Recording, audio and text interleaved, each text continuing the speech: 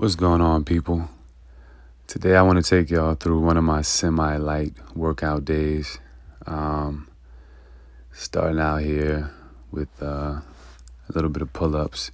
Before this, I like to warm up usually with jump rope, or I might even run a couple miles. You know, I'll do a few sets of pull ups, usually reps of 10. Um, again, it's a semi light day. And then I'm going to go straight into shadow boxing, as you can see here.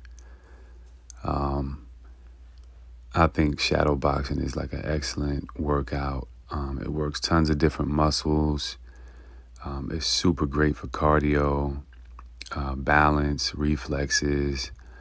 Um, being that I'm such a big boxing and just combat sports, martial arts, sports enthusiast, um, fanatic, student, in general, these types of exercises I'm I always throw into my workouts because they're unmatched as far as um, the benefits that you can get.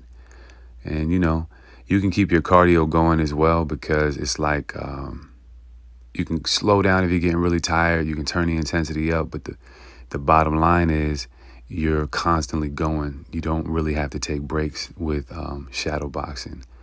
Um, and again, you know, you can use it all the time. You can throw kicks in there. You can do whatever you want. I go from there and I go into, I try to burn out a little bit on diamond push ups.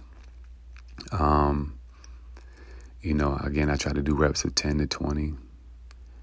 And then you see here, I go straight into like the hardest workout. I feel like at the end is like handstand push ups.